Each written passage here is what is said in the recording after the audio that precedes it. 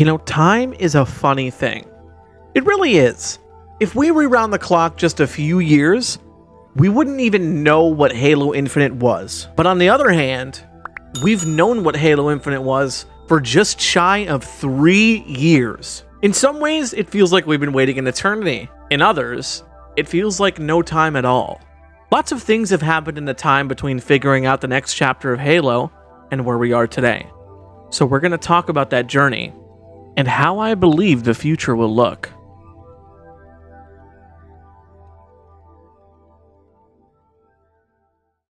In 2015, we got our hands on the last main Halo game that we'd experienced for over half a decade.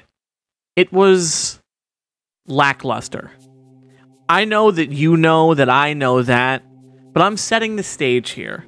If you'd told me in 2015 that I'd be waiting six years to jump into my next Halo, I'd tell you that you're crazy. That's longer than the wait between GTA 4 and GTA 5, which felt like an eternity to me. It also means the absolutely terrifying fact of Halo 5 only being 4 years away from being 10 years old. In 2018, I distinctly remember Halo not being on my radar at all. For the first time in maybe my entire life.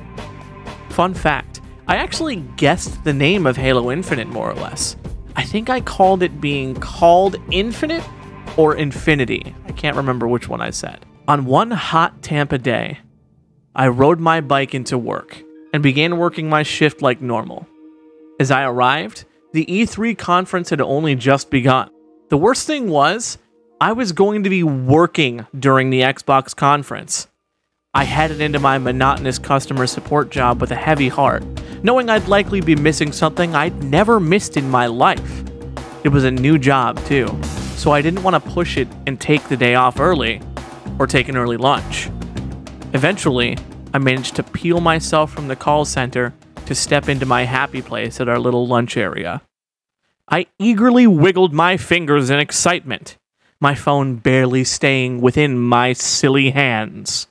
I managed to pull up the stream, but not before seeing a push notification from a little birdie telling me that a new Halo game was teased. He even spoiled the title, the absolute jerk. Regardless, I scrubbed the stream back to the beginning and watched as this incredible environment was revealed. I marveled at the droplets of rain racing down this chasm. Thunder raging within the distant winds. The subtle splashes as the deer quenched its thirst, I gazed at the crackling fire, with soft embers being carried into the breeze, the soft glow of flame reflecting on the cave paintings, the parched sands of the desert twisting and raging with a nearby vehicle wisping by. This wrecked tent recently abandoned, the pounding march of nearby creatures, we see the tracks left behind by these mysterious creatures, and now we've caught up to one. We watch as it catches its breath in the penumbra before dawn. The sun has settled above the horizon, and with it, these dual horned rhinos awaken, ready for their daily rituals. We watch a slowed angle of the nature and see the pollen and dust swept into the air. The tent appears again, and with it, an abandoned cockpit. Our eyes travel south into a lake and we peer at a construct inspecting the husk of a military vehicle. On the shoreline, it looks as if there's soldiers traveling. With the drop of a flare, the billowing smoke seems to attract attention. As that inspiring music lifts itself off the ground, it slams back down as that ever familiar piano arrives. Chief is back, and he's looking classic again. Before long, those desperate soldiers are rescued and they set off into the horizon. I assume to take them somewhere nice and wonderful with juice boxes and macaroni and cheese. With such a heavy focus on large, expansive environments in this trailer, I felt primarily that its intention was to sell me on scale. Just look at the segment that Chief is driving in. We've never driven on roads that open because the games weren't designed to truly be that open ended. I walked away from this trailer thinking with certainty that we were finally getting an open world Halo game. A dream come true. The atmosphere of this trailer is absolutely unrivaled. There's a reason why so many people knew this was Halo well before any obvious clues were placed. It's because this felt like Halo, pretty much immediately. It did everything in its power to have the essence of what we all love so much about the franchise, and it demonstrated a scale that Halo has never seen before.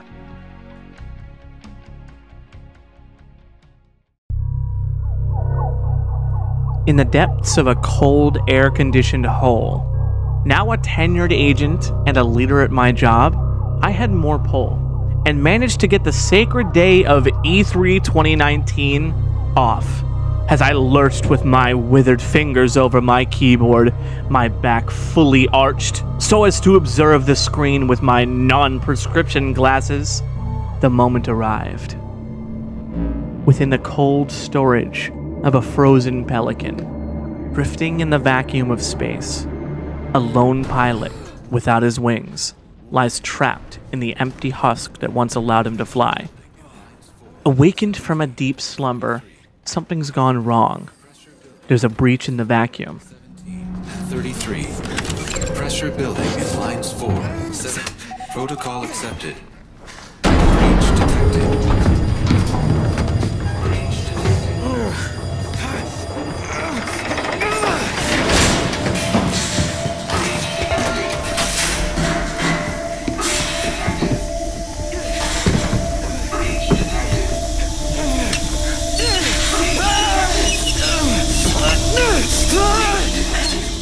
As he desperately attempts to restabilize his vessel, he succeeds, but not without a tumble.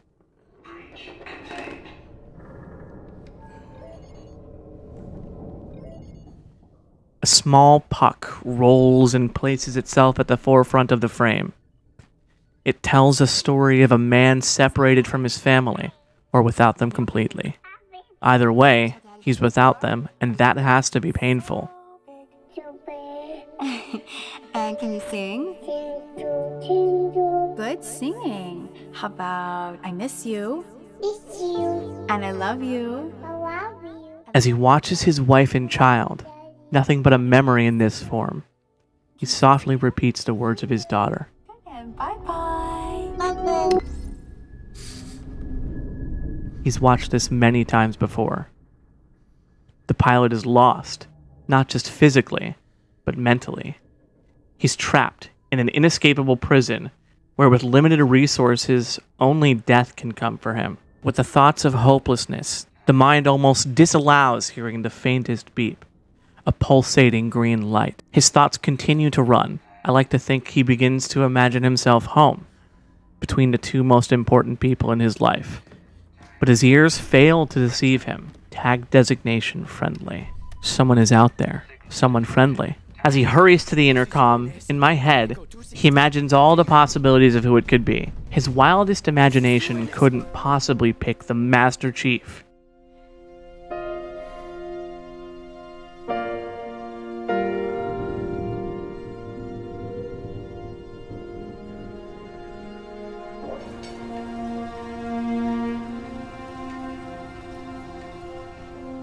Shifting to the chief suspended in the cabin of the Pelican, pilot composes himself. For the first time in a long time, he feels it. It's crept into his thoughts, and in the very back of his mind, tucked deeply into his subconscious, is a single thought. I'm going to try to overwrite. Please, just get me home. You can hear me in there. I hope you're ready. Please don't die. Please. Pilot has discovered hope.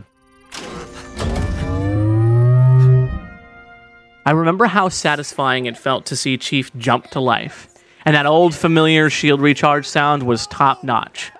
The way that the music swelled with Curtis Schweitzer's excellent score struck a deep emotional chord. It filled me with hope.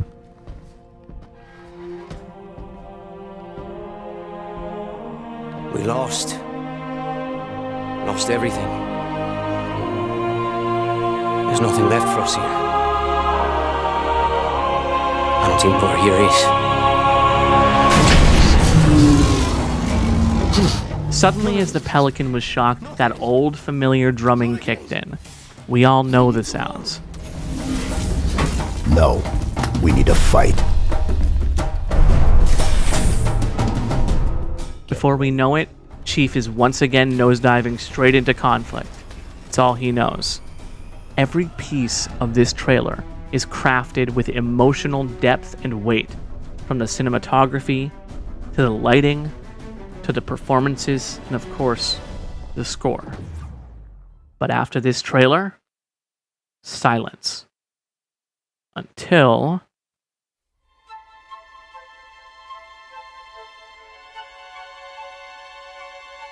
Having spent four long months in isolation, I found myself looking more and more like the Halo 3 rat by the minute. The trauma of the world around meant that seeing the thing I love so much would mean all that much more. As I reached over with my decrepit rat claws and pierced my mouse, arriving at the Xbox Twitch page, the moment once again began. As I watched Chief's armor assemble, I remembered all those past feelings of stoicism and bravery that we've seen before. That famous moment just after destroying the AA cannon in Voi, facing the Didact head on, staring down a Guardian, leaping into an army of brutes. Chief was never shy of a fight, and this armor would certainly see that through. The coolest thing is, I still have video of myself reacting to the gameplay. So rather than talk about it, I think I'll just show you. Demo, demo, demo. What? What?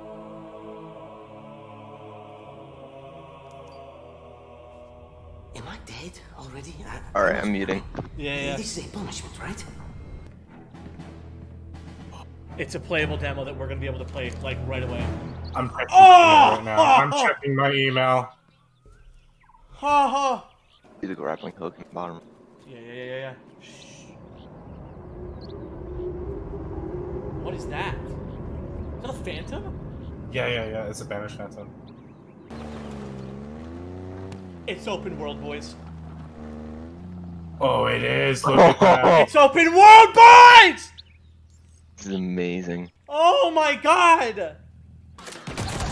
Yeah, Elites look good. Yeah, what's that pistol? What is that commando? Oh, oh my god. What? That looks like a Titanfall gun, the way it reloads.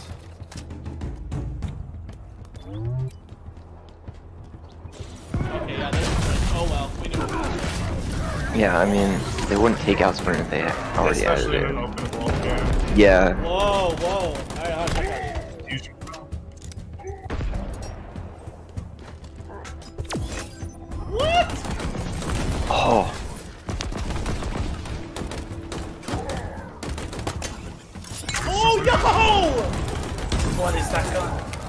Spiker. A Ravager. Ravager. What? Oh my god, look! Look!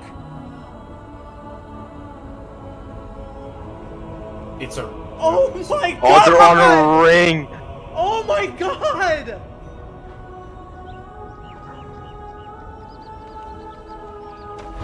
I'm gonna cry. I'm literally gonna fucking cry! What? Dude, they're crying.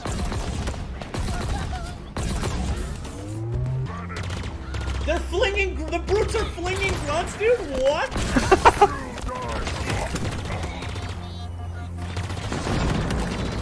I love the way the jackal sounds. They've got a maul. The Mangler? That's the thing the brute was holding. Okay, uh, that, that Okay. hook works for me. Yeah, I changed my mind. It's like the Doom Eternal one. Oh, you can grab stuff. what? Oh my god. Oh, oh dude! Oh, this is amazing. I need this game to come out now. Yo, it's a, it's a semi shotgun! I'm literally gonna cry, dude. Brutes elites against you at the same time. Yeah, no, that's never happened, right? No. No. Look at the gun diversity. There's so many different weapons. Bro, this is a demo we can install right now. I guarantee you it's a demo I we can install right I don't have an email yet. Wait till it's over. Yeah. Yeah. Needless to say, I was very excited. Oh, of course, history will tell you that ultimately the demo was somewhat poorly received. I only felt this of the visuals. Everything else, the music, the art, the gameplay, it was perfect. And then, as with before, there was silence.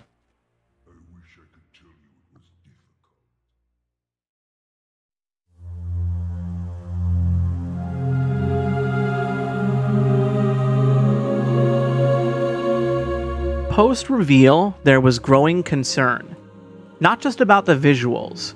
We knew that the Xbox Series X was launching in November, and the fact that we were hearing next to nothing for weeks filled many with dread. Suddenly, on August 11th, something began circling around social media an image on the official Halo account. And, well, I'll just let 2020 Jerasunder explain.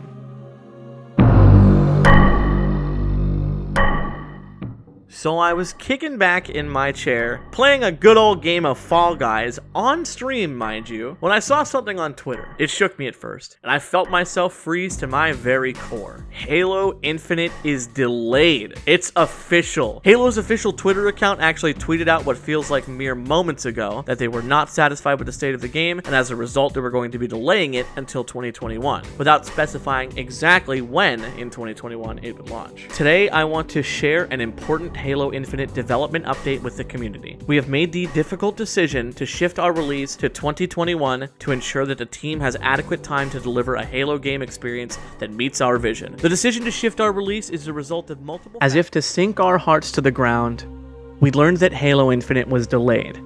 The good news was that Joseph Staten would be joining the project, the legend himself returning to the wheel. But there was still the unshakable fact we wouldn't be getting our hands on it until 2021. Four months of silence later, we got our first look at Infinite since E3. It looked fantastic. The lighting looked significantly better. But as we scrolled and reached the end, we received loving words from Joseph Staten himself. He delicately danced a paragraph of just how special that Halo Infinite was, and then he dropped the bomb. Halo Infinite will be launching in fall of 2021 a full year's delay. Believe it or not, this actually brought relief for me. I was glad to see the game getting all the development time that it needed. Over the months, we got little cherry picked pieces of the game, small morsels to keep us occupied, until we could once again set sight on that which we wanted more than anything. And just like that, it was June. I. What?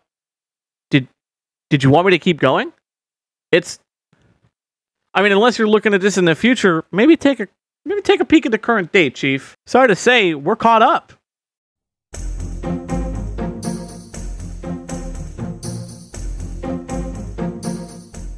Sometimes you see patterns in life. The same people driving to work, the same squirrels running up a tree. The pattern that I began to recognize with Halo was a consistent need to push for a certain date, removal of features, or complete lack of optimization. With an extra year in the oven, I'm sure that Halo Infinite will be all the better for it. I expect that come the 13th, we'll be treated to something that truly is a crowd pleaser. There hasn't been a single piece of Halo Infinite that I've seen that wasn't made for me, and I really think that a lot of people can say the same. If we're going off of what we know, we've got a great shot at an absolutely fantastic Halo title. I figure that we'll be getting a big look at the multiplayer experience with maybe just a taste of campaign, and maybe even a sampler of some Forge. At the end of the day, I have no true clue, but some echoes in the halls of eternity seem to whisper of multiplayer being the topic of discussion. But with that said, now we simply wait. With a week and some change left, soon we'll be right back there at the top of that peak, ready to see the view. This time, we won't tumble down. We'll stay there, and the weather will clear, and we'll have all the time in the world to enjoy the view. Hey guys, if you made it this far, once again, just know that I so appreciate you. I think we know that good days are ahead, and I'm just gonna politely suggest that if you liked the content, please subscribe. I've got plenty more content planned in the coming days and weeks, and I very much look forward to seeing how this community comes to evolve and grow in the coming months. And I hope you guys join me along the way. Thanks again, and it's time to thank my Patreon supporters. Nuck and Futz at the $2 tier, Tease at the $10 tier, Ryan McCann at the $15 tier, Turner at the $5 tier, and Screamy at the $10 tier. One last thanks for the road, and you guys have a wonderful day. Bye bye.